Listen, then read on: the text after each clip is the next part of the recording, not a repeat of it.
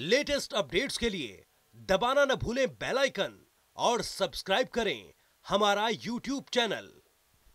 नमस्कार, मैं हूँ नेहा विनाश सिंह और आप देख रहे हैं हमारा हिमाचल बुलेटिन की शुरुआत करेंगे इस वक्त की बड़ी खबर के साथ। इस वक्त की बड़ी खबर आपको बता दें, प्रदेश को केंद्रीय विश्वविद्यालय की सौगात मिली है। तो हिमाचल को एक सौगात मिली है। विश्वविद्यालय के रूप में केंद्रीय मंत्री जावड़ेकर और सीएम ने सीयू का शिलान्यास किया है। इस वक्त की बड़ी खबर पर हम लगातार बने हुए शिलान्यास कार्यक्रम में लगे जय श्री राम के उद्घोष। केंद्रीय मानव संसाधन मंत्री ने आपको बता दें, उन्हें सम्मानित किया गया है। जनसभा को केंद्रीय मंत्री और सीएम जयराम ने संबोधित किया। दो हिस्सों में सीयू का भवन निर्माण होगा। देहरा में सत्तर तो धर्मशाला के जदरांकल में तीस फ़ीसदी होगा निर्माण।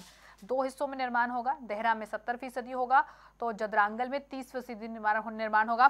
कहीं ना कहीं जब ये शिलान्यास हो रहा है, इससे आसपास के लोगों में काफ़ी खुशी है। तस्वीरें हम आपको दिखा रहे हैं। पहली तस्वीर जब शिलान्यास हुआ, उसकी तस्वीर दूसरी जब केंद्रीय मंत्री जावड़ेकर को सम्मानित किया गया। तीसरी तस्वीर जश्न की तस्वीरें हैं, ये वो खुशी की तस्वीरें हैं जब लोगों को ये पता चला कि यहाँ पर विश्वविद्यालय की बात हो रही है तो कहीं ना कहीं एक खुशी जो आसपास के लोगों में थी, अध्यापकों में, बच्चों में, ये वो जश्न की तस्वीरें हम आपको दिखा रहे हैं। लंबे समय से आपको बता दें, मांग जो है वो चली आ रही है। सांसद शांता कुमार, अनुराग ठाकुर, बीजेपी प्रदेश अध्यक्ष समेत इस कार्यक्रम में कई मंत्री जो हैं वो मौजूद रहे। बड़ी खबर लगातार हम आपको दिखा रहे हैं। प्रदेश को बड़ी सौगात मिली है। सीयू का शिलान्यास किया है। मैं धन्यवाद करता हूँ केंद्रीय मंत्री माननीय प्रकाश जावड़ेकर जी का, माननीय मुख्यमंत्री जी का, माननीय मोदी जी का, जिनके आशीर्वाद से आज 10 वर्षों के बाद, लंबे इंतज़ार के बाद जो कांग्रेस ने रोक के रखा, उसको अब दूर करके हमने सेंट्रल यूनिवर्सिटी देहरा परिसर का आज शिलान्यास किया है। मैं समस्त देहरा जसवां, प्रागपुर ज्वाला जी और हिमाचल की जनता को बहुत बहुत बधाई देता हूँ।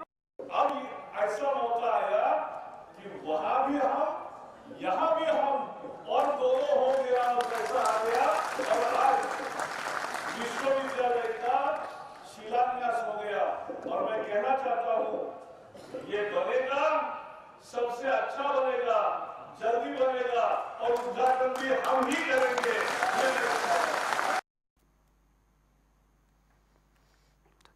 प्रकाश जावड़ेकर और सीएम जयराम ठाकुर ने सीयू का शिलान्यास किया और इसी के साथ साथ प्रकाश जावड़ेकर ने कहा कि जल्द बनेगा और उद्घाटन भी हम ही करेंगे। शिलान्यास हमने किया तो उद्घाटन भी हम ही करेंगे। यानी कि कहीं ना कहीं उन्होंने अगले चुनावों को लेकर अपना दावा पहले से ही ठोक दिया है कि हमारी ही सरकार आने वाली है। आपको बता दें कि आसपास के लोगों में इससे काफ़ी खुशी है।